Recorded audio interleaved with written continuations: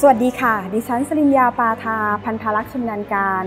สำนักพิพิธภัณฑสถานแห่งชาติ ศิลปะวิทยาการหลากหลายแขนงที่ปรากฏในหนังสือสารสมเด็จล้วนเป็นพระวินิจฉัย พระวิจารณ์ ที่ผ่านกระบวนการศึกษา วิเคราะห์ วิจัย ระหว่างสมเด็จพระเจ้าบรมวงศ์เธอ เจ้าฟ้ากรมพระยานริศลานุวัติวงศ์และสมเด็จพระเจ้าบรมวงศ์เธอกรมพระยาดำรงราชานุภาพ ตลอดระยะเวลากว่า 30 ปี แสดงให้เห็นถึงพระอัจฉริยภาพของทั้งสองพระองค์ที่ทัดเทียมเสมอกัน แม้จะมีความสนพระไทยและความเชี่ยวชาญที่แตกต่างกัน พระอัจฉริยภาพของทั้งสองพระองค์ ล้วนเกิดขึ้นจากพระวิริยะอุตสาหะ และความมุ่งมั่นตั้งพระไทย ตั้งแต่ทรงพระเยาว์ในการศึกษาเล่าเรียนและทรงงาน ดังปรากฏในพระประวัติของสมเด็จพระเจ้าบรมวงศ์เธอทั้งสองพระองค์ สมเด็จพระเจ้าบรมวงศ์เธอทั้งสองพระองค์ เป็นพระราชโอรสในพระบาทสมเด็จพระจอมเกล้าเจ้าอยู่หัว และเป็นพระอนุชาในพระบาทสมเด็จพระจุลจอมเกล้าเจ้าอยู่หัว สมเด็จพระเจ้าบรมวงศ์เธอ เจ้าฟ้ากรมพระยานริศลานุวัติวงศ์ประสูติแต่พระสัมพันธวงศ์เธอ พระองค์เจ้าพันาราย เมื่อวันที่ 28 เมษายน พุทธศักราช 2406 มีพระนามเดิมว่าพระองค์เจ้าจิตเจริญ และเป็นต้นราชสกุลจิตพงศ์สมเด็จพระเจ้าบรมวงศ์เธอกรมพระยาดำรงราชานุภาพ ประสูติแต่เจ้าจอมมารดาชุ่ม เมื่อวันที่ 21 มิถุนายน พุทธศักราช 2405 มีพระนามเดิมว่าพระองค์เจ้าดิดวรกุมาร เป็นต้นราชสกุลดิษสกุล พระอัจฉริยภาพของสมเด็จพระเจ้าบรมวงศ์เธอทั้งสองพระองค์ เกิดขึ้นตั้งแต่พระจริยวัตรตั้งแต่ทรงพระเยาว์โดยได้รับการดูแลอย่างใกล้ชิด จากพระบาทสมเด็จพระจุลจอมเกล้าเจ้าอยู่หัว ทั้งด้านการศึกษาศิลปะวิทยาการ วิชาคติยะ ราชประเพณีและภาษาต่างประเทศ และยังได้รับพระมหากรุณาธิคุณ และความไว้วางพระราชหฤทัยให้ทรงงานในตำแหน่งสำคัญของประเทศ ทั้งสองพระองค์ทรงปฏิบัติภารกิจด้วยความวิริยะอุตสาหะ โดยเฉพาะงานด้านการอนุรักษ์ และทรงริเริ่ม ปรับปรุงก่อตั้งหน่วยงานต่างๆ รวมถึงทรงมีพระนิพนธ์ หนังสือและบทประพันธ์ที่สำคัญของประเทศ ที่สำคัญยิ่ง ทั้งสองพระองค์ทรงเป็นผู้ริเริ่มในการนำเทคโนโลยี และความรู้ศิลปะวิทยาการต่างๆ แบบตะวันตกนำมาใช้เพื่อพัฒนาประเทศพระอัจฉริยภาพของทั้งสองพระองค์ดำเนินการไปโดยผ่านกระบวนการตรวจสอบ และมีพระวินิจฉัย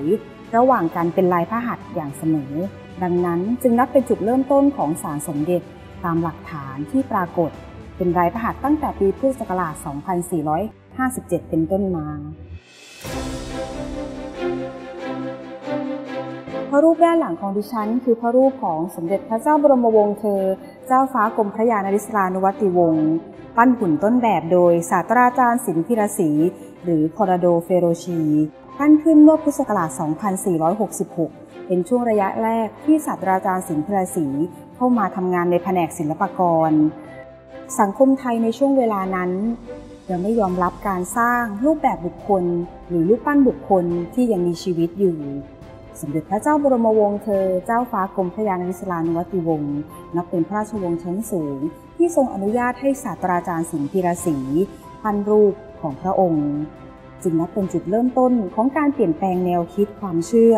และเริ่มรับวิธีการสร้างรูปแบบ รูปปั้น รูปเคารพแบบตะวันตกเข้ามาใช้ ดังนั้น สมเด็จพระเจ้าบรมวงศ์เธอ เจ้าฟ้ากรมพระยานิสลานุวัติวงศ์จึงอนุญาตให้ทั้งปั้นหุ่นต้นแบบและจัดทำ รูปหล่อด้านหลังที่ชั้นนี้ เป็นรูปหล่อที่กรมศิลปากรได้ขออนุญาต ทายาทราชสกุลจิตรพงศ์เพื่อหล่อและเก็บรักษาไว้ที่พิพิธภัณฑ์สถานแห่งชาติหอศิลป์กรมศิลปากร เมื่อพุทธศักราช 2549 จุดเริ่มต้นของศิลปกรรมร่วมสมัย หรือการยอมรับแนวคิดแบบตะวันตกอย่างแท้จริง งปฏิเสธไม่ได้ ที่จะเริ่มต้นในช่วงการรับแนวคิดทางตะวันตก โดยสมเด็จพระเจ้าบรมวงศ์เธอเจ้าฟ้ากรมพระยานริศลานุวัติวงศ์ระรูปของสมเด็จพระเจ้าบรมวงศ์เธอกรมพระยาดำรงราชานุภาพ สลักจากหินอ่อน จากประเทศอิตาลี เมื่อพุทธศักราช 2434 เมื่อข่าวที่พระองค์เสด็จประพาสยุโรปในครั้งนั้น พระองค์ได้เสด็จประพาสในหลายประเทศ เป็นตัวแทนของพระบาทสมเด็จพระจุลจอมเกล้าเจ้าอยู่หัว ในการเสด็จเยือนเชื่อมสัมพันธไมตรีในประเทศต่างๆ ทั้นเมื่อไปถึงประเทศอิตาลี พระองค์ได้ทรงอนุญาตให้ประติมากรชาวอิตาลี คือนายเลองเคลิชีแกะสลักพระรูปเหมือน จึงนับเป็นพระบรมวงศานุวงศ์อีกพระองค์หนึ่ง ที่เปิดรับแนวคิดวิธีปฏิบัติอย่างตะวันตกโดยเฉพาะงานด้านศิลปกรรม การสร้างรูปเหมือน ซึ่งทั้งสองพระองค์คือสมเด็จพระเจ้าบรมวงศ์เธอเจ้าฟ้ากรมพระยานิสลานุวัติวงศ์และสมเด็จพระเจ้าบรมวงศ์เธอกรมพระยาดำรงราชานุภาพ เป็นสองพระองค์สำคัญที่เปิดรับแนวคิดและวิธีปฏิบัติ และนำศิลปกรรมอย่างตะวันตกเข้ามาสู่ประเทศสยาม เพื่อพัฒนาประเทศให้ทัดเทียมนานาอารยประเทศ และนี่ก็เป็นอีกส่วนหนึ่งของเรื่องราว จากนิทรรศการพิเศษเรื่องศิลปะวิทยาการจากสารสมเด็จ เนื่องในวันอนุรักษ์มรดกไทย ปีพุทธศักราช 2563